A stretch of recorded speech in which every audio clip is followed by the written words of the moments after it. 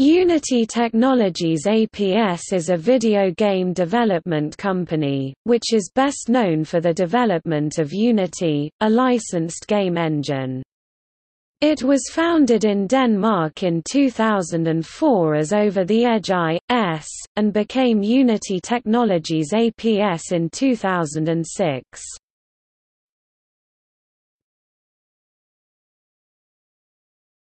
Topic History Unity Technologies was founded on 2 August 2004 by David Helgason CEO, Nicholas Francis CCO, and Joachim Ante CTO, in Copenhagen, Denmark after their first game, Gooball, failed to gain success. The three recognized the value in engine and tools development and set out to create an engine developed in-house that any and all could use for an affordable price. Unity Technologies has received funding from the likes of Sequoia Capital, Westsummit Capital, and iGlobe Partners. The company's focus is to democratize game development and make development of 2D and 3D interactive content as accessible as possible to as many people around the world as possible. In 2008, with the rise of the iPhone, Unity was one of the first engine developers to begin supporting the platform in full. Unity now supports 24 platforms, including Oculus Rift, Xbox One, PlayStation 4, and Linux. In 2010, IBM started exploring Unity 3D based browser plugins, as a way to access 3D virtual worlds from within a web browser.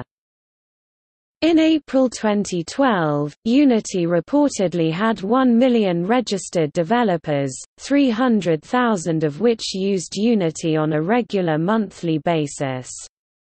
In April 2015, the number of reported registered developers reached 4.5 million, with 1 million monthly active users.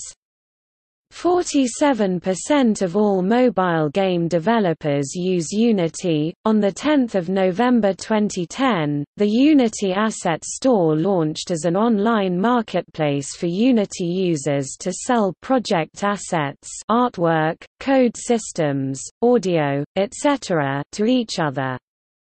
By April 2014, it had 600,000 registered users who downloaded about 500,000 assets per month. According to some estimates, this has saved game developers about $1 billion in the previous year. Unity acquired Applifier, a Helsinki based mobile service provider, in March 2014. Applifier's EveryPlay, the game replay sharing and community service, became Unity EveryPlay. The acquisition also meant that Applifier's mobile video ad network, GameAds, became Unity Ads.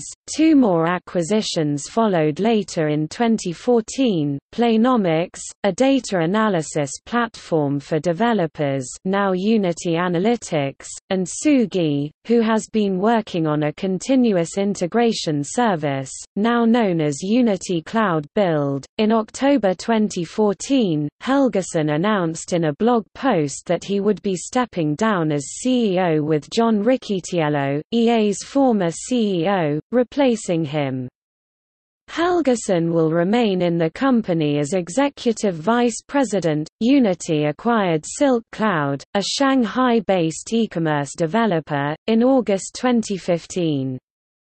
Silk Cloud is working on infrastructure for Unity's web-based services. Unity held Vision Summit 2016 in February 2016, a VR/AR conference with the intent of furthering the knowledge base of anyone developing virtual and or augmented reality content. At the event, Unity announced its partnership with SteamVR and Google Cardboard.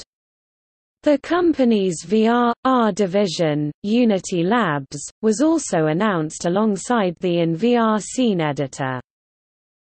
At GDC 16, Unity announced two new product lines, Unity Certification to facilitate developers in demonstrating their skill and knowledge within Unity, and Unity Collaborate which allows multiple people to access the same Unity project remotely. On 19 April 2018, Unity Technologies announced on their forum that they would be shutting down Unity Everyplay on 1 October 2018. It was revealed that a lack of funds and a low video upload rate was the cause of the shutdown.